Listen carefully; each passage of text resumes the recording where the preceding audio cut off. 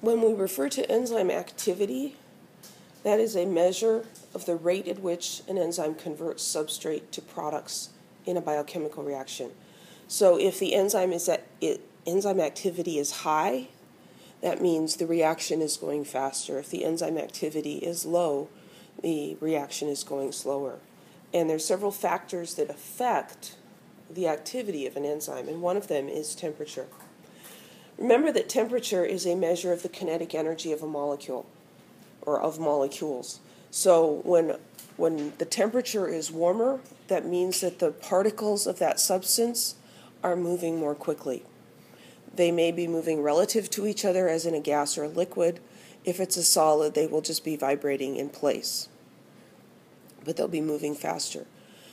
Generally, increasing the temperature will increase the rate of a reaction just because there's more movement of particles and they're more likely to encounter each other.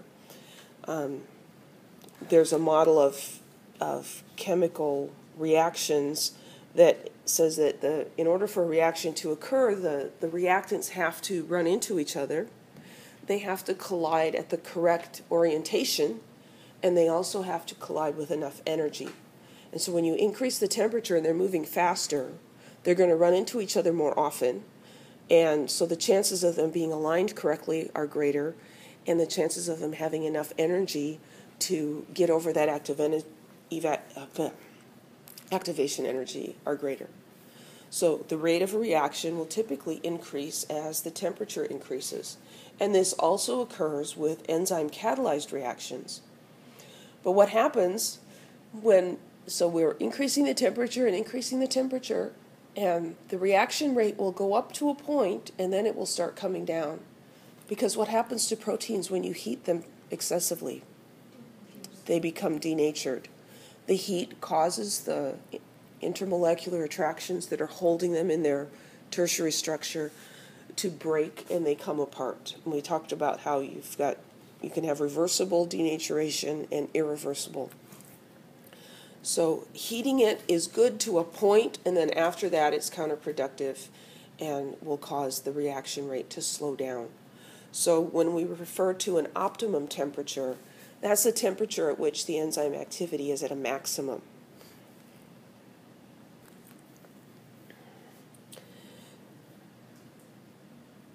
Usually these enzymes are, are designed to operate at a specific temperature. So you know, your body regulates its internal temperature very closely. Um, if your body temperature drops too low, you sink into hypothermia and you can die. And if your body temperature goes too high, um, perhaps due to heat stroke, you can also die. And there's a lot of different factors that happen when your temperature gets off. And one of them is that it affects the enzyme activity.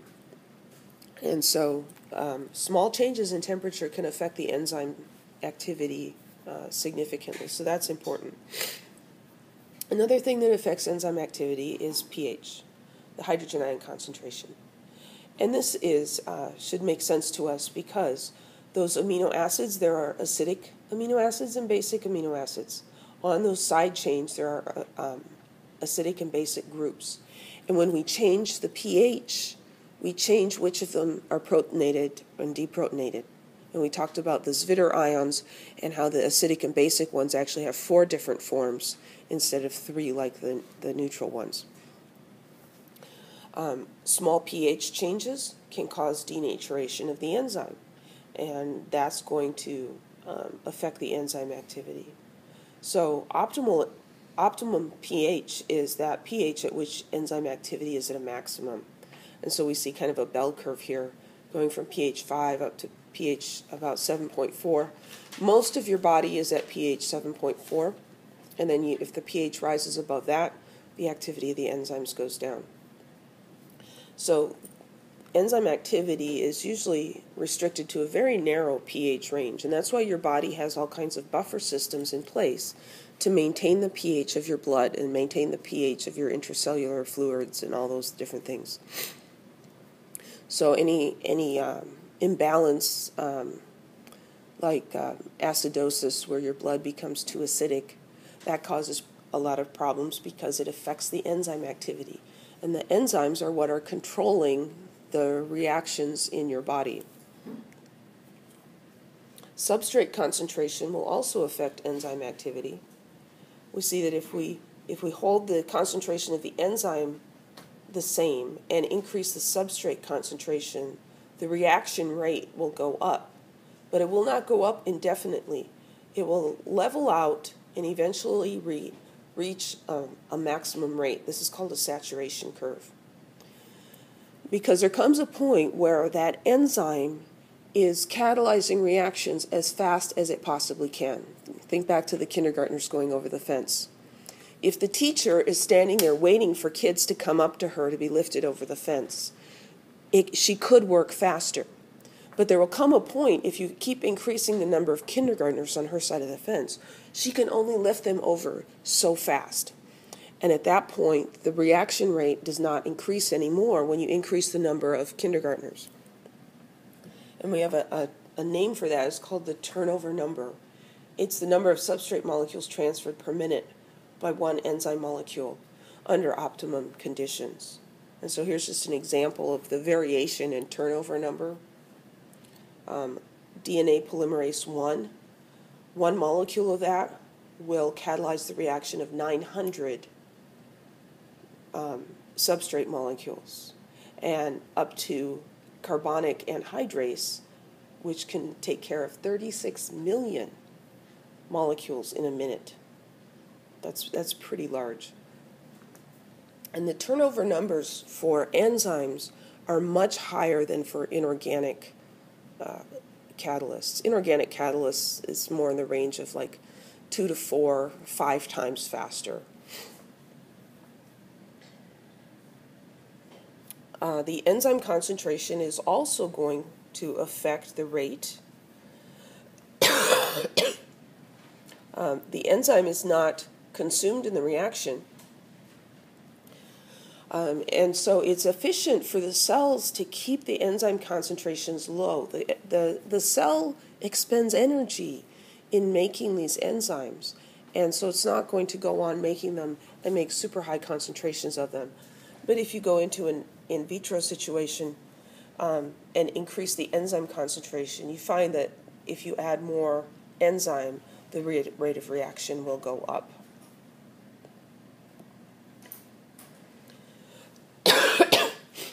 So describe the effect that each of the following changes would have on the rate of a biochemical reaction that involves the substrate sucrose and the intestinal enzyme sucrase.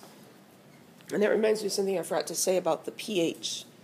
Um, there are parts of your body where the pH is not 7.4. Your stomach is one of them. Your stomach is acidic. Your body makes hydrochloric acid and pumps it into your stomach.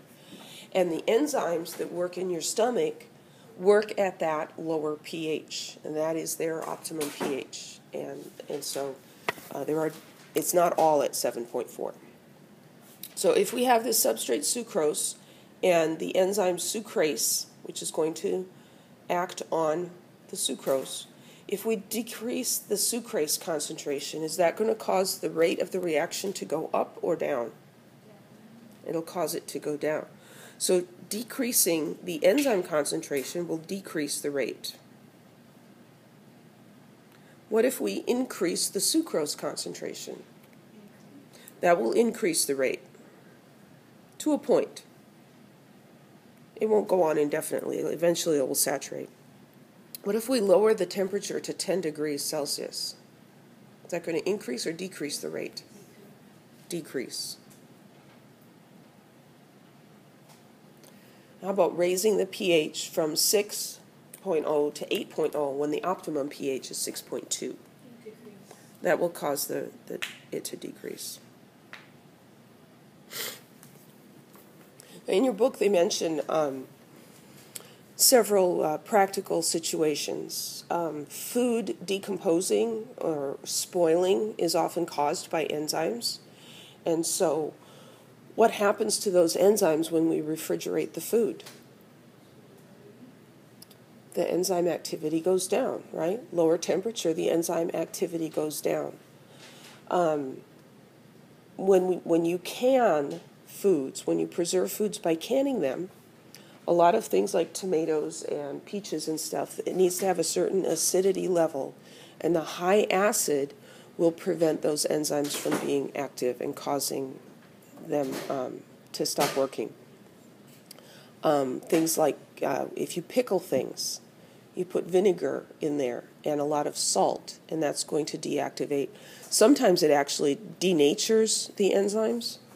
Um, equipment in hospitals is sterilized in an autoclave, which is a high, they use high pressure steam, which superheats the steam. And so they can get the temperature above 100 degrees Celsius.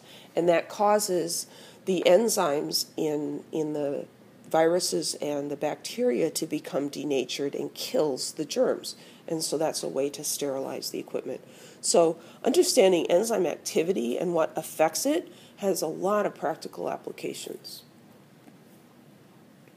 Here's kind of an overview, uh, looking at the mechanism, the lock and key model, where the substrate just comes in um, a little bit like a you know a Lego brick coming in and fitting in there um, the induced fit model, when the substrate comes in, the enzyme active site actually kind of bends a little bit. And then here's a summary of those four main factors that affect the rate of enzyme activity. So temperature, pH, concentration of substrate, and concentration of enzyme.